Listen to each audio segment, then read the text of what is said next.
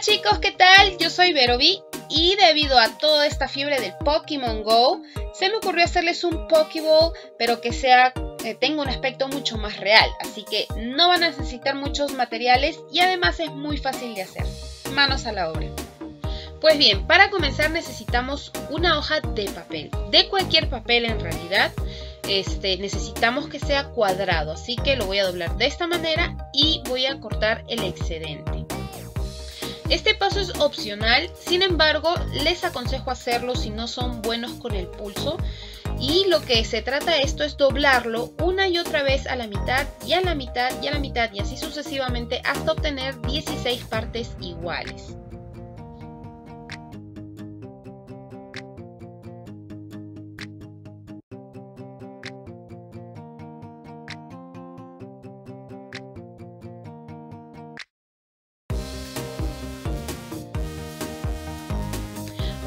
Listo, lo aseguramos a la mesa con un poquito de cinta y marcamos todos los dobleces con lápiz o lapicero. Ahora vamos a conseguir de estas esferas transparentes de las que se cuelgan en los arbolitos de Navidad. ¿sí? Y la el único detalle es que se tienen que abrir por la mitad y no de esos que son completamente cerrados porque esos no nos va a servir. Luego vamos a colocar la parte que va eh, encima de la otra media esfera, la vamos a colocar bien centrada sobre el papel y lo vamos a marcar con un lapicito. Lo siguiente será tomar un plumón indeleble o marcador em, permanente y en el caso que hagamos un Pokéball con diseño, en este caso estoy haciendo el Master Ball y lleva como una, una letra M y unos circulitos a los costados. Este sistema me sirve muchísimo en este caso porque puedo dibujarlo derechito, bueno, al menos trato de poder dibujarlo derechito. Y el único truco con esto es que ustedes tienen que visualizarlo desde arriba y no desde los costados ni nada de eso, porque si no, no van a poder dibujarlo correctamente, no lo van a poder dibujar derecho.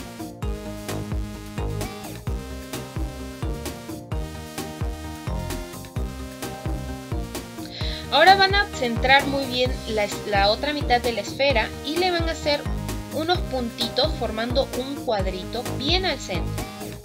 Lo siguiente que haremos es pintar, para lo cual necesitamos pintura acrílica, obviamente de los colores que vayamos a utilizar de acuerdo al diseño que hagamos. Antes que nada, debemos asegurarnos que no haya ningún tipo de pelusa, ni polvo, ni nada antes de pintar. Y les voy a dar dos tips. El primero es que cuando coloquen la pintura, lo hagan cubriendo primero las figuras que hayan hecho adentro. Y asegúrense de que pinten todo, todo el borde perfectamente en cada figura. Agréguenle una segunda capa a estos colores para asegurarse de que todos los bordes sobre todo estén bien cubiertos. Una vez que esté bien seco, recién ahí pueden colocar el color que cubre el resto de la esfera porque si lo hacen cuando aún está húmedo, la pintura se les va a mezclar y por el otro lado se les va a ver muy fácilmente, así que háganlo paso a paso y con mucha paciencia. Ya cuando esté bien bien seco todos los colores, ahí recién van a poder colocarle entre 3 a 5 capas más de pintura para poder cubrir todas esas marcas del pincel. Chicos, antes que se me olvide, donde va el diseño es la, parte de la esfera, la mitad de la esfera que va encima de la otra. Y además también ambas esferas cuando la pinten no, no coloquen pintura en ese bordecito que sirve para unir ambas mitades. Porque si no, cuando la tengan cerrada y la quieran volver a abrir, se les va a quedar pegado. Cuiden bien ese detalle, no le coloquen pintura, si se le manchó un poquito, limpienlo rápidamente para evitarse tener que estarlo raspando, ¿sí? Y ahora pintaremos la otra mitad de la esfera que vendría a ser la base, donde solamente lo pintamos de blanco. Y como les dije ya, cuídense de no pintar este bordecito. Si no tienen buen pulso, es preferible que le coloquen por todo el borde cinta adhesiva y así se evitan de estar este, manchando ni teniendo que limpiar. E igual le vamos a colocar la cantidad de capas de pintura necesarias hasta cubrir todas las marcas del pincel.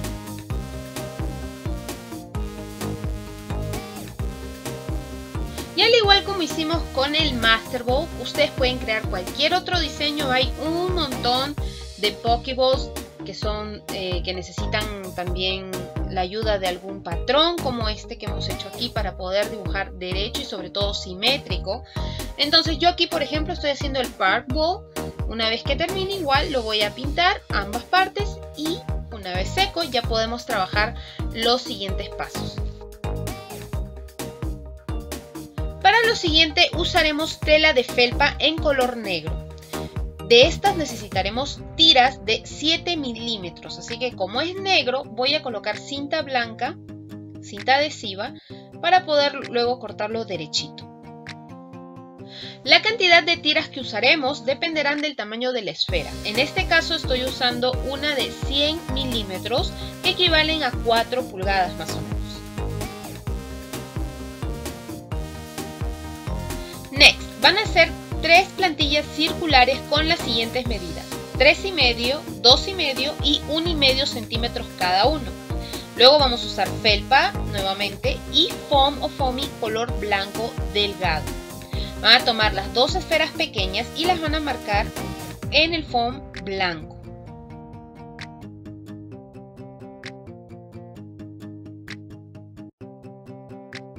Ahora van a tomar la esfera más grande y sujetándola contra el material de la felpa, lo van a cortar. Y haremos lo mismo con el foam.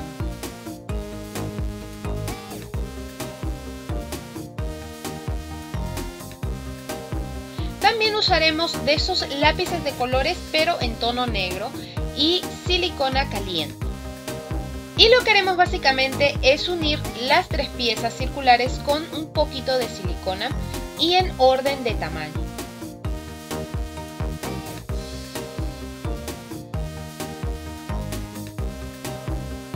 Y como para terminar con este botoncito, vamos a tomar nuestro lápiz negro y le vamos a crear una pequeña sombra muy sutil.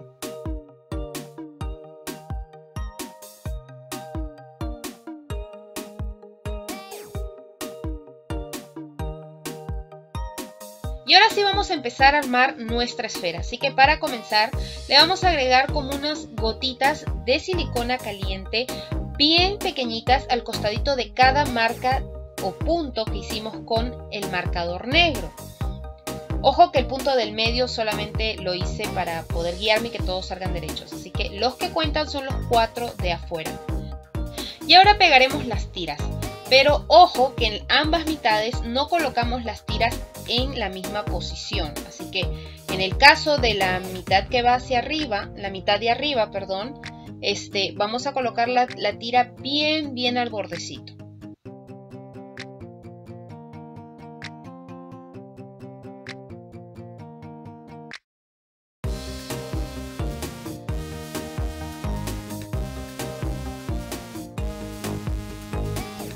En el caso de la otra mitad de la esfera, de la que vendría a ser la base, vamos a pegar la, la tira a partir de la pintura, es decir, no desde el borde.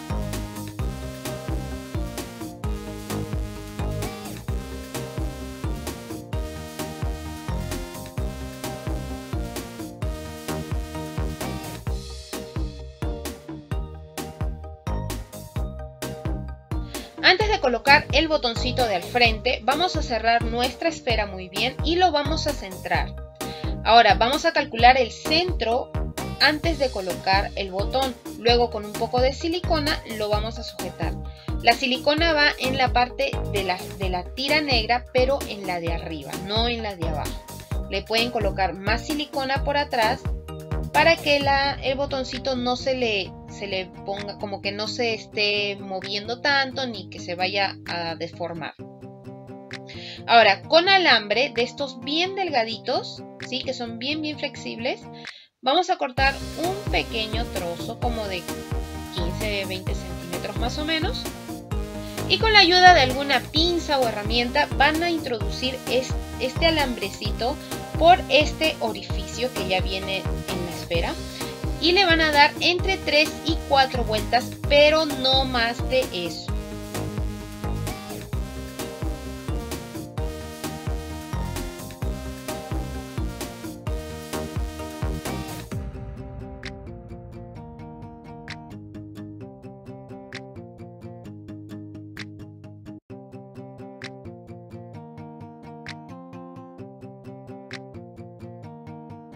Ya que esté bien ajustadito, le cortamos el excedente.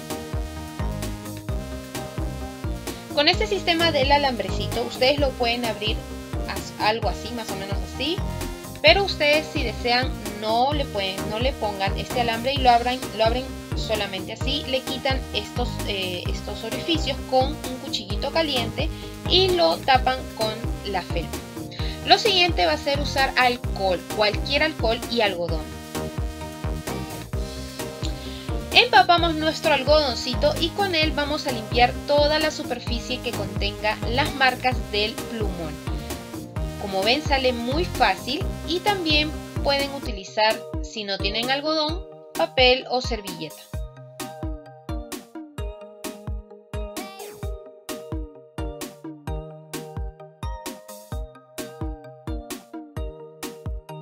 Y así nos quedaría ya listo nuestro Master Ball, que como ven no queda ni se distingue ningún tipo de marcas que hayan quedado a la hora de pintar.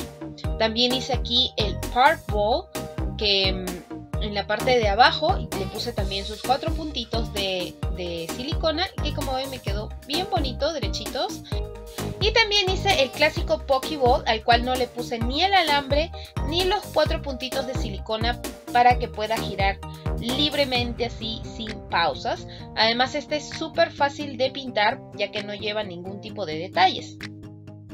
Y bueno, eso es todo por hoy chicos, espero les haya encantado. También este tipo de objetos ustedes los podrían utilizar como sorpresitas para los cumpleaños, ya que son bien fáciles de hacer, sobre todo el Pokeball, que es el clásico, y además porque es muy económico para hacerlos.